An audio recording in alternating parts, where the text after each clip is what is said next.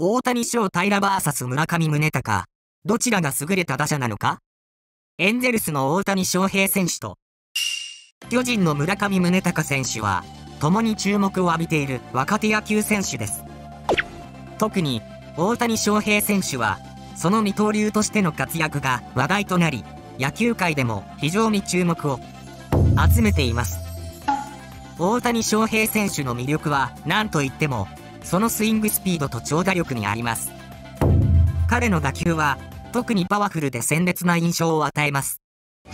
また、彼の打撃には安定感もあり、成績も常に上位に位置しています。一方、村上宗隆選手も非常に優れた打者として注目を浴びています。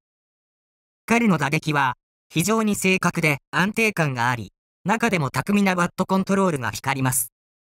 そのため、彼の打球は常に正確に飛び、チームに多くの得点をもたらしています。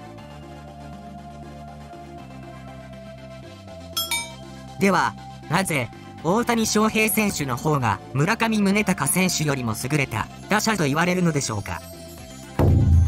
まず一つは大谷翔平選手のパワーです。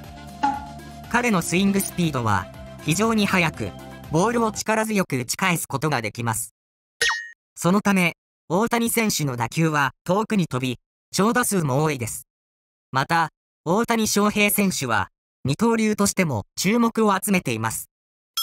彼は投手としても非常に優れた成績を残しており、その投手としての経験が彼の打者としての能力を高めていると言われています。彼は他の打者とは異なる視点で試合を見ることができるため、相手の投球に対する理解が深く、バッティングに生かされているのです。一方、村上宗隆選手は、技巧派の打者として知られています。彼のバットコントロールは非常に優れており、様々な球種に対応することができます。そのため、彼は様々な場面でチームの勝利に貢献しています。また、村上宗隆選手は守備力にも定評があります。